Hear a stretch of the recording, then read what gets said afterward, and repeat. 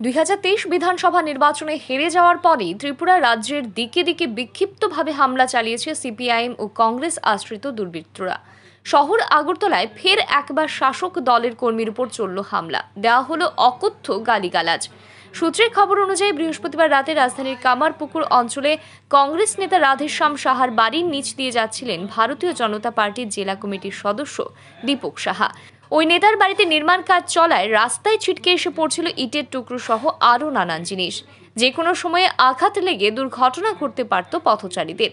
সেই কথা বিবেচনা করে বিজেপি কর্মী দীপক সাহা প্রতিবাদ জানাতেই অকথ্য গালিগালাজ করে তাকে মারধর করতে তেরে আসেন কংগ্রেস নেতা রাধেশ্যাম সাহা।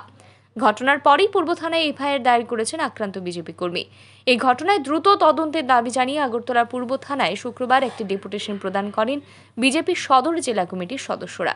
যে একটা সহ্যের একটা সীমা আছে, যে ওরা দু হাজার তেইশে ক্ষমতায় আসবে বলে বিভিন্নভাবে মানুষকে হুমকি দিয়েছিল। ক্ষমতায় ভারতীয় জনতা পার্টি এসছে।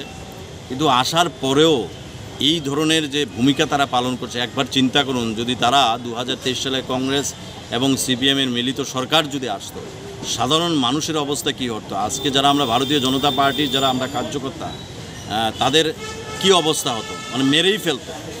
তো সেই জায়গায় দাঁড়িয়ে আগরতলা শহরে যে শান্তির পরিবেশ, সরকার আসার পরে সেই শান্তির পরিবেশকে বিঘ্ন করার জন্য যারা গুটি কয়েকজন নেতা, তারা মনে করে যে এই সমস্ত কাজ করে এই প্রচারের আলোতে আসবে।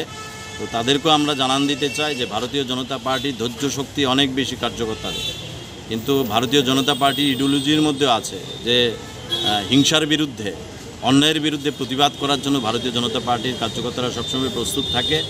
উনি যদি মনে করেন এইভাবে উনি চালিয়ে যাবেন লাস্ট আমরা ভারতীয় জনতা পার্টির পক্ষ থেকে আমরা লাস্ট ওয়ার্নিং ওনাকে ওনাকে দিয়ে দিচ্ছি।